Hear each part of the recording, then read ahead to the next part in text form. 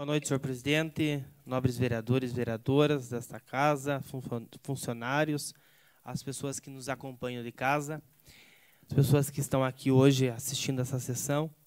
E eu gostaria de me dirigir também à senhora Juliana. É um momento delicado, momento difícil realmente de colocar palavras à senhora pela perca do seu marido, mas estar vereador é buscar meios e alternativas para que a gente possa estar, além de conversar com os secretários que estão nas pastas hoje, é buscar meios também por parte do Estado. Quando eu digo isso, senhora Juliana, eu relato que dentro do União da Vitória nós temos a Sexta Regional de Saúde, que é o braço direito da CESA, que é a Secretaria de Estado da Saúde do Paraná. E, e quando você relatou na tribuna, me chamou muito a atenção, porque além de nós buscarmos meios para que venham somar a União da Vitória, nós precisamos melhorar o que tem. Nós precisamos buscar meios e alternativas. Conforme o teu relato, muitas pessoas estão sofrendo também. E, e isso faz com que nós, vereadores desta casa, possamos ir à busca de alternativas e tentar levarmos esse, esse assunto, como a senhora colocou, para que, junto ao meio do Estado do Paraná, possa dar um suporte ao nosso, ao nosso município, especialmente à Secretaria de Saúde. Eu, quando eu digo isso à senhora, eu, a gente precisa entender que existe todo um trabalho em cima disso. Pode existir problemas, mas a gente precisa saber que até que ponto. Hoje foi o Sidney, amanhã pode ir a Maria, pode ir o João, e a gente sabe que a gente não quer perder um ente querido da família. Mas nós precisamos melhorar a saúde. Nós precisamos melhorar o que nós temos. Então, eu me coloco à disposição porque quando eu assumi esse compromisso de estar vereador, eu assumi, acima de tudo, ouvir as pessoas.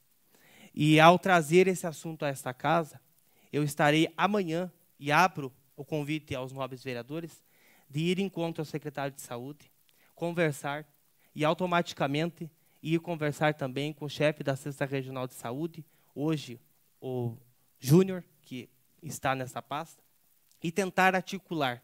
Porque, Juliana, Existe todo um trabalho em cima disso.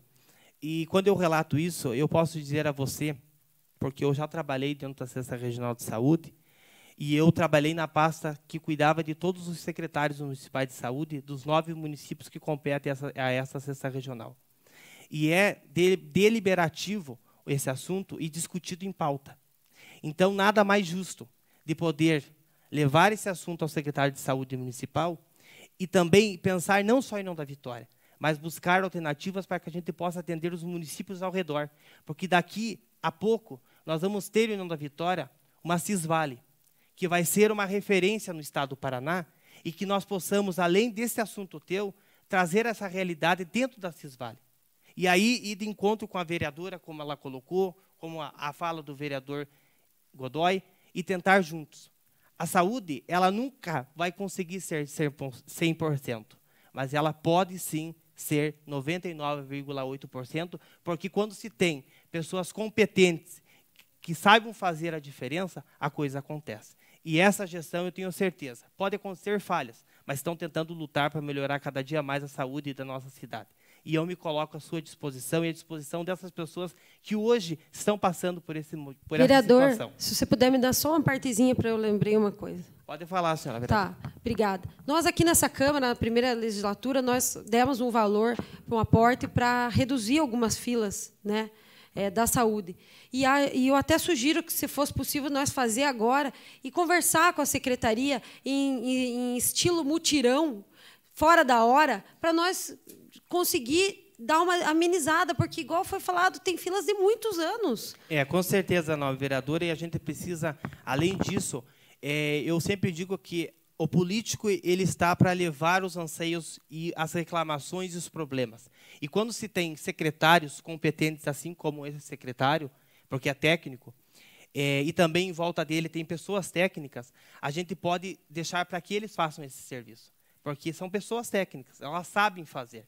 E nós estamos aqui para quê? Para colocar essa situação sua e buscar meios, alternativas, verba, se for preciso, agora esses deputados federais eleitos, deputado estadual eleito, e tentar juntos melhorar essa situação. E eu me coloco aqui, eu tenho certeza que esta casa também, de poder ir em busca desse anseio e trabalhar sempre em prol da população. Muito obrigado.